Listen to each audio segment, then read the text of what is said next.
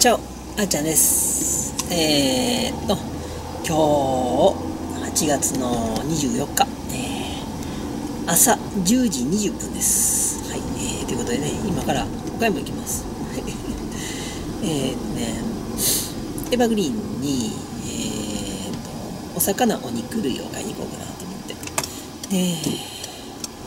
今日はねちょっとねガツッとお肉を食べたいなっていう気分でもあったりいいお魚がいてたら買いたいなっていうのがあったり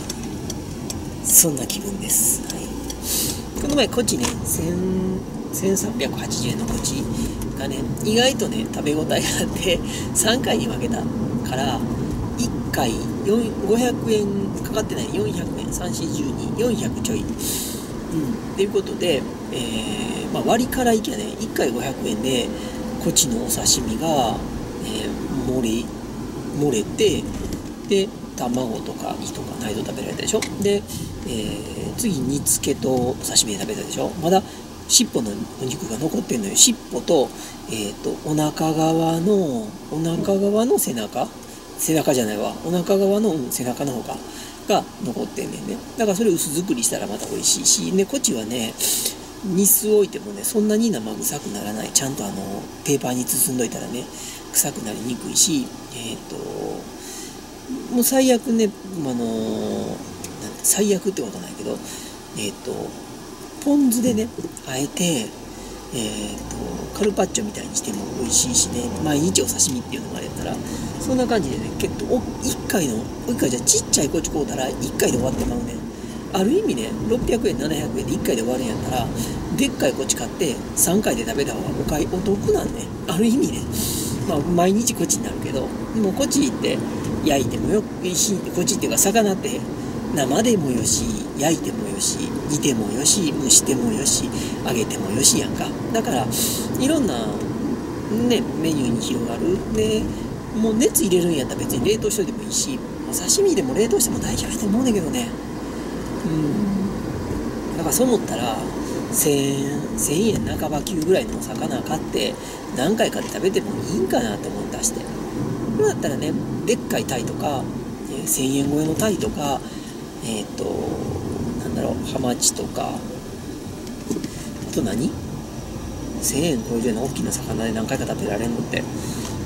ー、いろいろあるやん。えっ、ー、と、うん、そういうのを買っていくのもありかもわからんなってねさばき動画自体は1回で終わってまうけどお料理にね転用できるやんか。でさばき動画もう毎日あげんでもいいやん。っていうかでもね最近さばき動画もね再生回数がちょっとずつ伸びてきてんの。うんまあこれもねあの メイド服とロリータ効果なのかもわからへんからね一時的なもんかもわからんねんけど。うんいいねんね。あのアホ見る目で見てくれたら。はい。あっちゃんはみんなに見てもらうそこでバカにされても結局見てもらうことによって拡散されていくからって思ってんねまあ宣伝活動やと思って。で昨日もねライブかな？いやライブじゃなかったかな？コメントやったかな？ライブやったかな？どっかでコメントかな？親として子供に恥ずかしくないの？って子供をライブで言われたんかな？でコメントにもいろいろ書かれてて。子供がいてんのにとか子供が今あのななんていうかなそういうちょっと何ていうの？そういう多感な時期やのにうん子供おる親がそんなことしていいのって言うけどお仕事としてやってるあっちゃんは趣味でやってるわけでもなくそれをあの何、て言うのかな変な話ねツイッターとかインスタとかでねお金にもならへんのに写真さらして遊んでるのとまたわけが違ってそれで収益を得るためやったら手段は選ばん。子供育てるために手段は選ばん。それでいいんじゃないのかなと思ってやってんねんけどね。恥ずかしいことなのかな。それすらあっちゃんにはわからない、うん、だってお仕事に恥ずかしいなんてないもんこれが例えば、えー、見せるお仕事、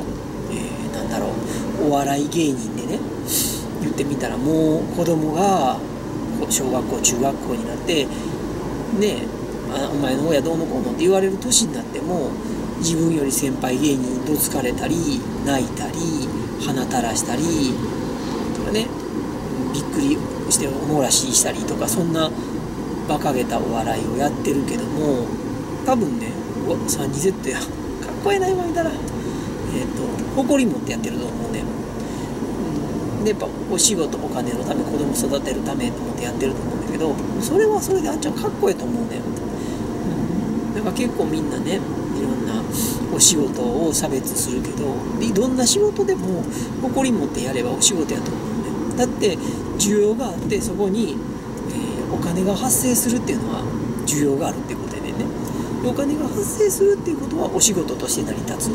だったらいいわけ。でそれを誰かがせえへんかったらそのお仕事はなくなってしまうよ。でしょ？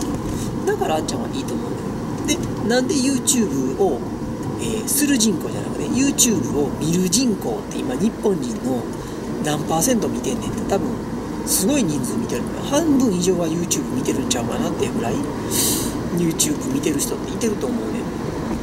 半分言い過ぎかもわからんけどそれぐらい YouTube 人口はいてると思う YouTube、えー、なんだオーディエンス人口視聴者さん人口はいてると思うねっていうことはそれだけ需要があんねんね。で YouTube に何を求めてんねんって言ったらプロが作る映像じゃなく素人のホームビデオを求めてるから YouTube でほんまにプロが作った映像を求めるんやったらテレビなり映画を見るはずやねんね。だからそこに需要があると思うねで需要があれば供給が成り立つ。だからそれで収,、えー、収益が得られるんやったらお仕事として成り立つんちゃうかなって。もちろん YouTube 配信者の中で8割ぐらいが収益を得られて8割、うん、8割7割か収益得られてないらしいねんね。でその3割のうちの7割が1ヶ月1000円以下なんかな。でその中のその中の残った3割。言ったら3割の中の3割ね。が1ヶ月1万円以下の配信者さんらしいね。それぐらい、ー、稼げる人っていうのは少ないらしいねんけども。だからその稼げてない人を見てるって言われたらそうかもわからへんねんけどね。でも稼げてるっていうことはそれだけ稼げれてる人も見られてるっていうことやんか。でやっぱり稼げてる人を見るとねえとやっぱり日本で言うたらヒカキン、えーと、はじめ社長あと誰だろう、えー、あっちゃんが見てる中でまあまあ有名どころって言ったら、まあ、気まぐれクックさんでえっ、とあと誰がいてる？あんまり見てない、えー、最近ほほあんま見てない。えっ、とめぐみん TV 最近ちょっと見てないけど。でメイウィン TV からね別れた人たちとかいろいろそんな人たちを見てる中でねさあテレビのクオリティなのかそうじゃないよね。やっぱりし、え、言い方悪い偉そうな言い方やけども素人のホームビデオなんでで編集入れて文字入れたり確かにしてるよ。やってるけども結局やってること、えー、変な話ヒカキンって日本で一番有名やしえー、と YouTube 知らん人でもヒカキンっていう名前してたり巣鴨のおじいちゃんおばあちゃんでもヒカキンかヒカキンなのかカテキンなのか分かってへんけどもヒカキンっていうのを知ってたりする。それぐらいトップの YouTuber さんやねんけどもヒカキンってお家の中で喋ってるだけやん正直。言い方悪いけどね。あのあえてそういう言い方するけどお家の中で喋ってるだけなんだってね。うんあんまりお出かけとかもちろん顔さすからできへん。ででえっ、ー、とまあカメラマンおるし編集してんのかどうかって分からんけどもあっちゃんは信じてる、えー、カメラマンさんには手伝ってもらってるけども編集は自分でやってるって自分で言ってるから私は信じてるけど、それが本物の YouTuber なんちゃうかなって。やっぱりプロ YouTuber プロの YouTuber って言い方おかしいけどほんまにほんまもの YouTuber ってヒカキンなんちゃうかなって。そう思ったら家の中でちょっとあえて口悪くけど家の中でくっちゃべってえーと、素人のホームビデオを撮って素人編集したのがトップ YouTuber やと思うんででこれをね、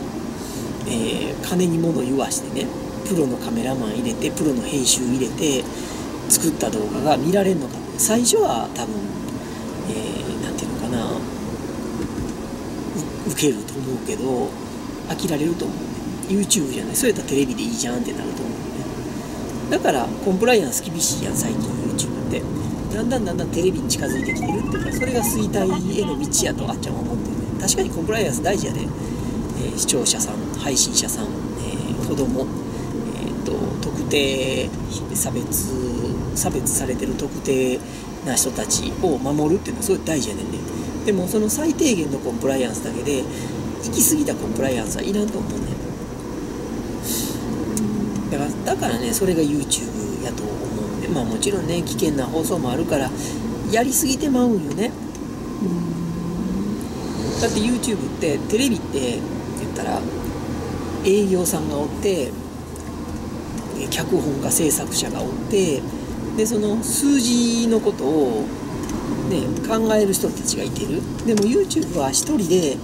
えー、動画作って脚本考えて編集して作った上に営業活動に数字を気にしないといけない。ってなってきたら動画が過激になって当たり前やねん過激なことやったら数字取れるから。でしょ。テレビはでもそれをコンプライアンスで守る。過激なことやったら誰かが止めてくれる。YouTuber は1人やから止めてくれる人間がおらへんねん。だからついついやりすぎてまうことがある。だからねもちろんライブっていうのは一番危険やねん。ポロッと言ってもうたりポロッと出してもうたりするからね。昨日もだから誰か言ってたね視聴者さんが言ってたけどもえー、っとツイキャスでえーあらぬものポロリしたらしい。いやありえるよ。テレビだってあるもん。昔24時間27時間テレビかなんかで鶴瓶がポロリしたでしょ？ねそんなこともあるから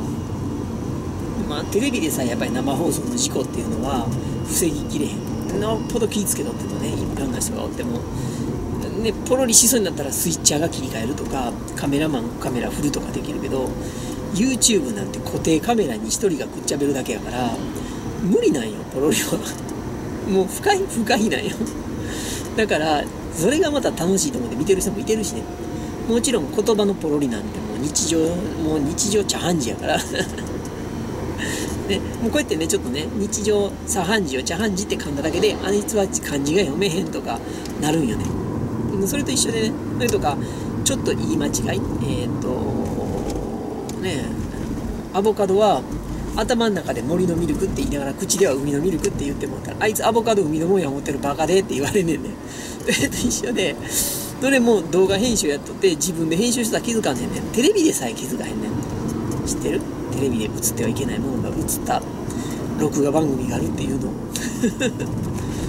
雑誌もせんね昔持ってた雑誌持ってたちがね買った。普通の健全な雑誌やねんけども。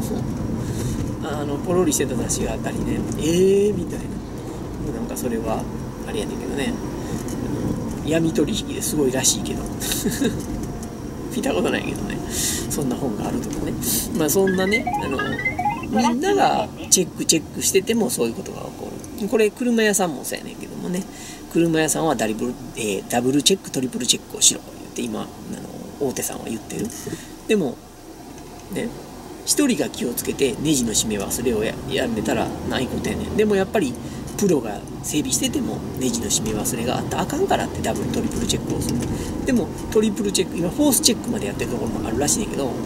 メカがやってでメカが同じメカじゃなく同僚メカがもう一回チェックして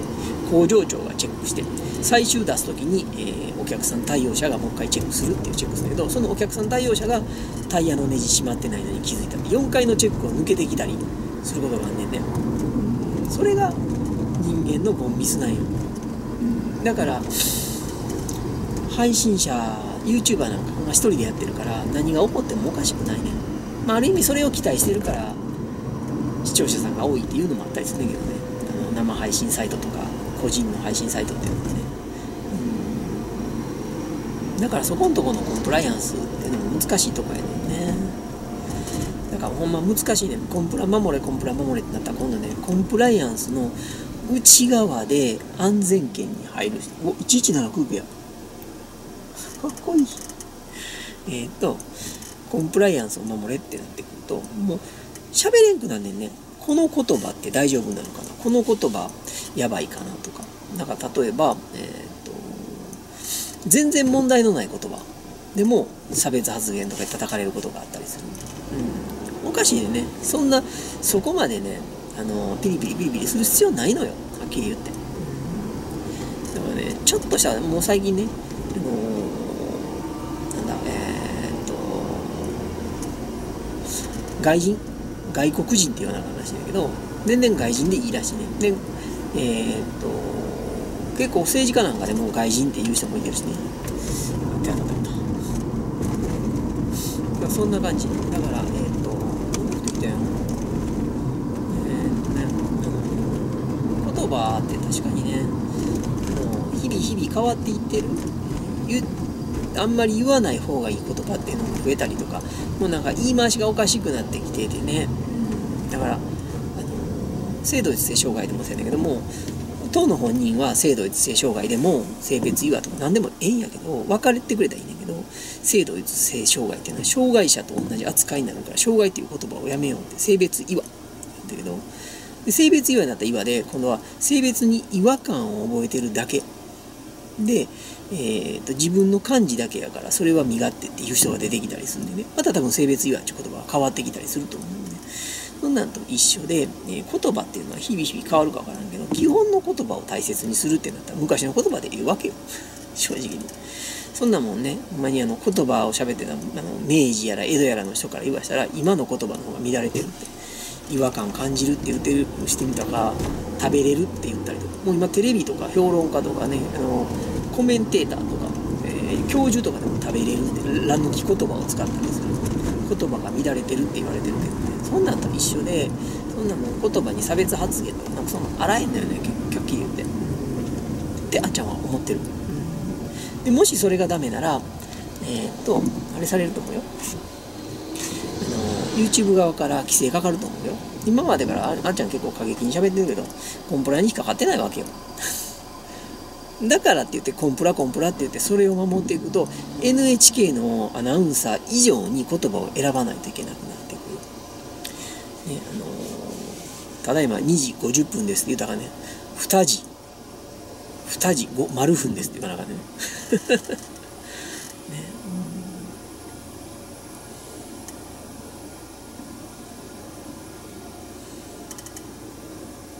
そうなってくる。配信するとももこってあらへん。聞いとってもものことあらへん。とあっちゃんは思ってる、うん、だからあっちゃんは誰が何言おうと YouTube さんがダメだよって言わん限りいいんじゃないのかなと思ってねだって視聴者さんにね場所を借りてるわけでもなくクレーマーに場所を借りてるわけでもなくじゃあまあ YouTube に場所を借りてるわけねだからクレーマー受け付けへんよっていうのはそこなんで、うん、でぐらいの自分でいかなあかんと思う。視聴者さんにね振り回されてあの動いてるようではやっぱりダメやなって。で最初やっぱ2年前3年前がそういうスタンスでやってたんよ。でもやっぱりちょっとこうあんまりにも荒れんのもあれかなと思って寄せていった自分が情けない。やっぱり YouTube って何？って言ったら個人企業の集合体。個人放送局の集合体やね。個人企業個人放送局が流されてどうすんねん。って思ういかがでしょうかこういうあのやり方。まっちゃんはそのやり方に戻していこうかなと。3年前の自分に戻そうと。だから今までみたいにキッキキッキやるんじゃなく昨日のライブめちゃくちゃ良かったよってあっちゃん思ってんね昨日ってえっと8月の23日金曜日のえっとサタデーナイトフライングゲットライブね。金曜日の夜にサタデーナイトっていうねわけわからんタイトルをつけて。何人かに突っ込まれたけどあえてそこをね狙ったんやけどフライデーナイトにねサタデーナイトをフライングゲットしようねっていうのと AKB ののコスプレをかけたんやけど そういうねこともやりの、えー、コスプレやりのわたわたやりのでみんなとやっぱり喧嘩したるじゃなく楽しく楽しくやりましょうってすごい穏やかやったでしょ。ああいうライブがあっちゃんの基本やねで穏やかやねんけども一本筋持ってんのは他人に何言われようが自分のやり方を貫くっていうやり方、うん、それに戻していったらね初期のねみんなが楽しくいがみ合いのない何、えー、て言うかなそういう交流会になるんじゃないのかなと思ってね。もちろんコメント欄はね青みで荒れてるライブに陽キャンかってねコメント欄でわーわー言うやつもいてる。うん。今日もね、まあそれだけじゃなくねあっちゃん結構ね結構過激にやってたでしょ、えー、他の配信者の配信者がダメなんじゃなく配信の仕方がダメだよって言ったやつに逆恨みに食らってその配信者の信者自分で言ったんよ。その配信者の信者やって。その信者に、えー、粘着されてやってんだけど今日もねコメント欄にあったけどあのあ足太って汚いって言われてんね、うん、その配信者さんよっぽどねスレンダーで綺麗な人なんでしょうね。うん。ね。ねちょっと嫌味っぽい。でそうやってねその配信者自体は今知らんで見てないからどうなってんのか知らんけどもまあ悪い噂あんま聞かへんけどちょろっとは聞くけどね。あんまりそんな今までほど悪い噂聞かへんけどえっ、ー、とそういうねバカ信者のおかげでその配信者さんの顔が潰れちゃうわけよ。うん。顔潰してあかんよねやっぱりね。よっぽどねそのあっちゃんに顔ブザイクやとか言うのにねよっぽど美人さんなんやろし。よっぽどスレンダーな人なんやろから、えー、その人の顔を潰しちゃダメだよ。はい。その顔じゃないって。こんなこと言うか怒られね はい、あちゃんはそう思うねだからうちの視聴者さんはね他のところ行ってねなんか言ってみたらあっちゃんおっさんみたいやとかよく言われる。ほんな他のおっさんみたいな配信者の中であなたはおっさんみたいだとか言いにくいでしょ。そんなことしたらあっちゃんの顔つぶれるの分かってるからうちの視聴者さんはそんなことしてないとあっちゃんは信じたい。うん。でたまにねあっちゃんのファンの人がよそであのアンチしてたよ。それは仕方ないと思うね。別にその人が悪ければ悪って言ったんやけど自分はそこの信者でその人と比べる。要ねそこの某視聴者のあの信者はちゃんと頑張ってるその自分の好きな、ね、あの配信者教祖様は頑張ってるけどあなたは汚いとか言ってくんねあなたは頑張ってねあなたは吊るし上げてるとかよく言ってくんだけどあ。あそうですか。みたいな。あなたは大好きな大好きな教祖様の顔潰してますわよって思うよね、うん、そういう恥ずかしいこといまだに何回も言ってんだけどいまだにするやつがおんねん。本当ねある意味その配信者さんの顔潰してるし配信者さんに迷惑かけてんのはその人なんよね。ほんまにファンなんやろかって思うわ逆に。ね大事なことなんねだからうちの視聴者さんはそこは守ってください。ね、あの自分の顔も潰れるしね、うん、なんだ何をしてんだこの人は。ここに入るのかな？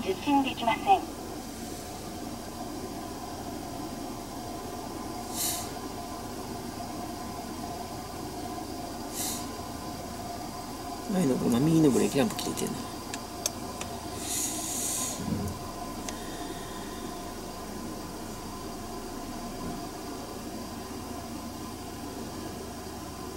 もうちょっとこう前出た方がいいかなこのこのコンコ入るんやったらこうやってあげた方がいいか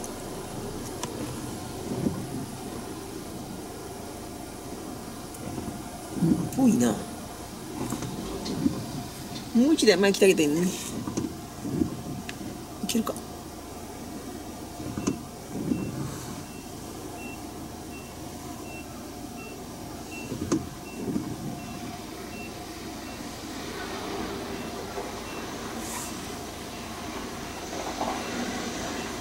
重そうやな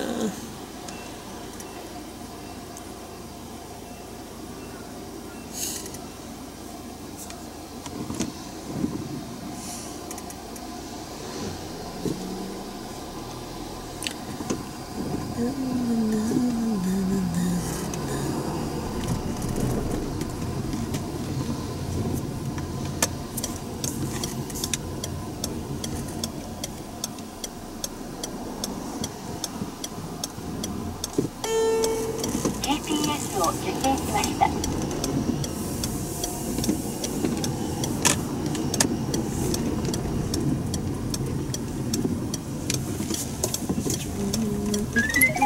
ここでいいかなこっちよか。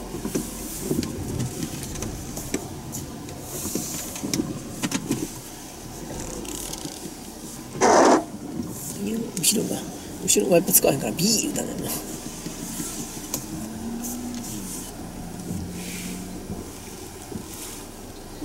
この辺かな。行ってきます。